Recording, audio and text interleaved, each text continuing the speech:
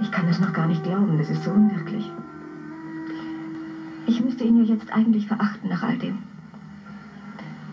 Aber das kann ich nicht und werde es nie können. Dazu habe ich ihn zu sehr geliebt. Sie sollen ihn auch gar nicht verachten. Sie müssen nur versuchen zu vergessen. Und glauben Sie mir, Sie werden vergessen. Wenn Sie erstmal wieder zu Hause sind. Ja, ja, Sie haben recht. Kommt über alles hinweg. Aber manchmal ist es nicht leicht. Ich danke Ihnen. Kopf hoch. Und alles Gute.